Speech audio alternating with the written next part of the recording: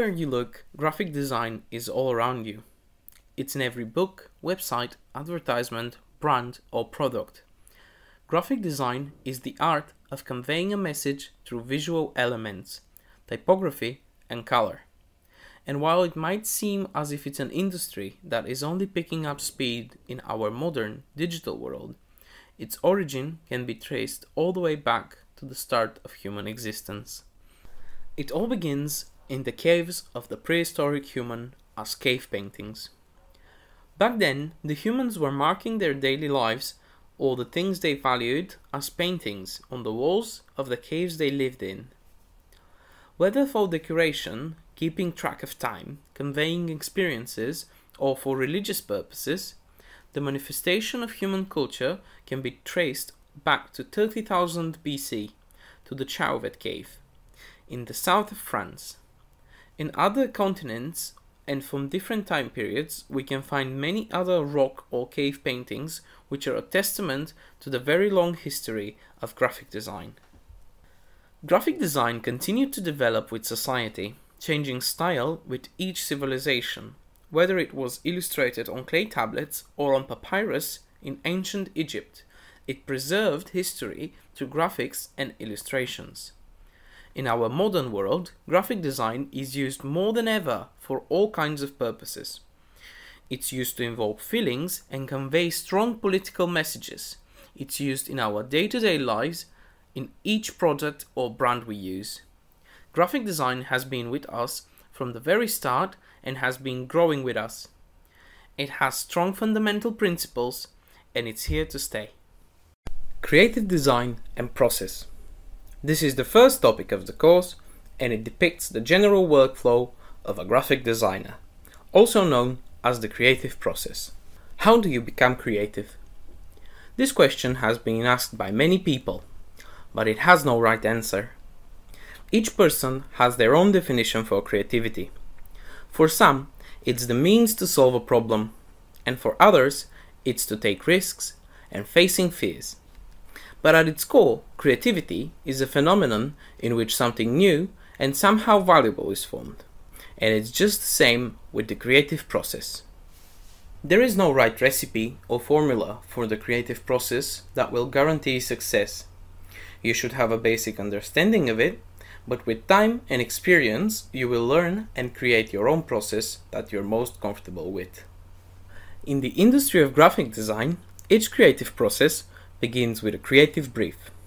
After that, my personal process splits into three phases, which are research, where I gather all the information I would need, concept development, where I let my creativity free and try out different ideas, and finally, production, where the design is finalized and prepared for delivery. In this topic, we will talk about the creative brief, research, and concept development. We begin with the creative brief. This part of the process is usually developed by the client or the designer, and sometimes collaborated between the two. It defines the goals, the scope, and vision of a project. It will identify the target audience, objectives, schedule, and any necessary details. While working on a project, you will find yourself referring back to this document to ensure that your ideas and work is meeting the set objectives. Following the creative brief, each great design begins with even better research. When beginning work on a project with an already established brand, you might be provided with a document outlining all of the brand's guidelines. But a lot of times you would have to do your own research and collect all the information you would need by yourself. You would need to get yourself familiar with the client's brand and its values, their personality, and what customers they attract. What is their aim and vision, their goals, and if they are trying to attract new audience.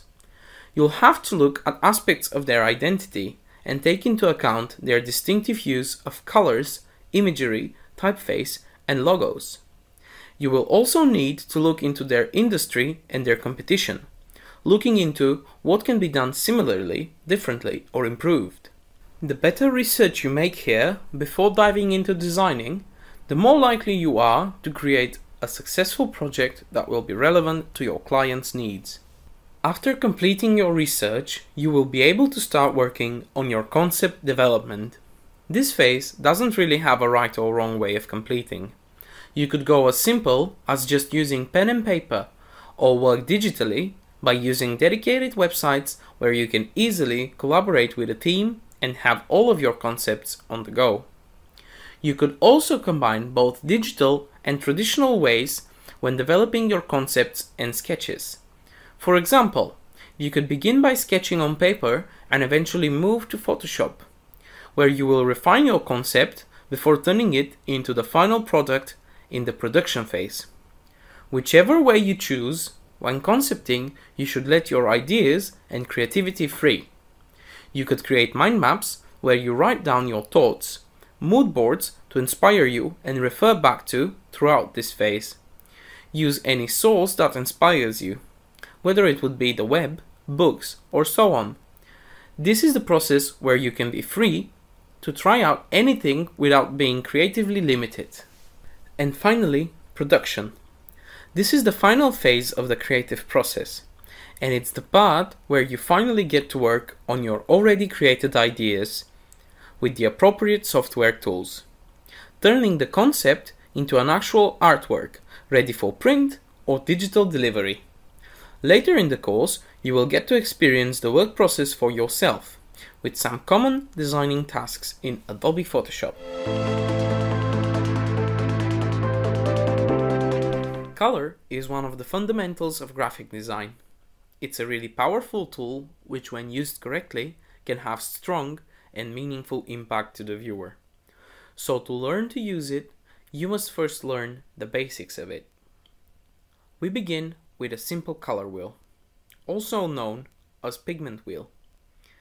It's a very useful tool for understanding the relationships and mixes of pigment-based paints and inks. As designers, even though we might eventually produce an artwork with ink, the pigment wheel is too limiting. So we have other, much more complex tools to mix color available to use. One such tool, based on digital color, is the one shown here. Its first component is hue. To most people, that would mean the name of the color. But in digital colors, hues are identified by their position on the color wheel. Starting with red at 0 degrees and continuing counterclockwise around the wheel. The next component is saturation. It comes in form of a slider, which will change our saturation or also known as intensity. And by changing the value of the slider, the selected hue or color becomes more or less intense. The last component is luminosity, also known as brightness. By reducing or increasing the luminosity of a color, we create shades or tints, just like adding black or white to a pigment. Setting the luminosity to either end would result in completely losing color to either white or black. By combining all of these components together, we're able to achieve a huge variety of colors. As visual artists, one of the main skills you will have to learn is the ability to understand color harmony. In visual arts, harmony is considered something that is pleasing to the eye. It engages the viewer and invokes sense of order and balance. When the colors of an artwork are not in harmony with each other, they could be considered boring or chaotic. The absence of color harmony could result in a bland, unmemorable experience for the viewer. Or, on the other extreme, the colors could be so overdone or chaotic that the viewer won't stand to look at it. Studies have shown that the human brain rejects what it cannot organize or understand. The science behind color harmony aims to deliver order and sense on a subconscious level. Thankfully, all the work and science behind how colors work together has already been covered by numerous great artists throughout the ages. Before you can begin creating amazing color combinations, we would have to go over the basics of color mixing and we begin with the three-part color wheel containing the well familiar primary colors red, yellow, and blue. As you probably already know, in traditional color theory used in pigments and inks, the three primary colors cannot be mixed or formed by any other combination of colors. They are the primary mixing ingredient, and every other color is formed by mixing them. Then we have our secondary colors green, orange, and purple.